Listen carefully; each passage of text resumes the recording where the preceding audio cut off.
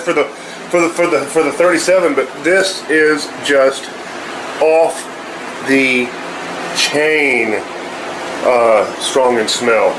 So it's chasing me out of the house, and I learned something today when I applied that. I learned something.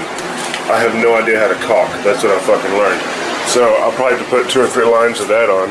Oh, y'all might have caught some urination in the toilet. Do y'all do y'all let it mellow if it's yellow and flush it down if it's brown? And I just realized, you know, I want to work on that gate thing, and I just realized that the uh, Tractor Supply does a price match. They do. Tractor Supply does a price match on the on there whatever. Somebody will get the solar panel for the Mighty Mule. How you doing?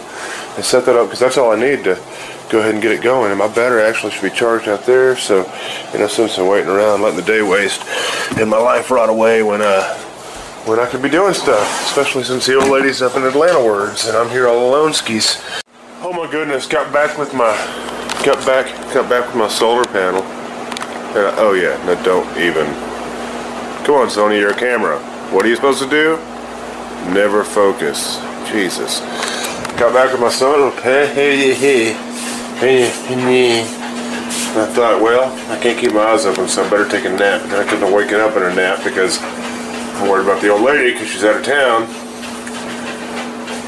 And then she calls and tells me she's back up at the hotel. And I'm like, sweet, now I can sleep, but I can't because I'm awake now. Even though I'm still horribly exhausted and I haven't eaten. I'm like, oh, I'll just go out and work on my solar panel. Or not. Son of a dick. Oh my goodness. If that sun stays behind the clouds, I might actually be able to get this done.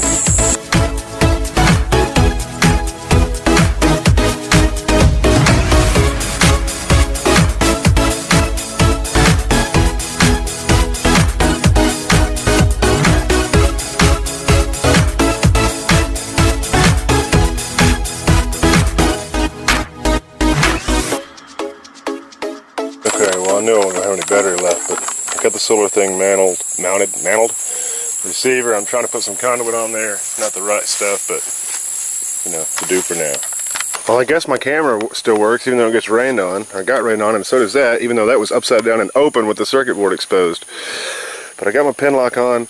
I do not have all my conduit. I mean, it's only secured by zip ties, so I don't even have it all in there, much less secured properly. I'm just going to zip tie this up now. Although now it actually looks like the rain is fucking gone. Now that I've cinched everything back up. Ah.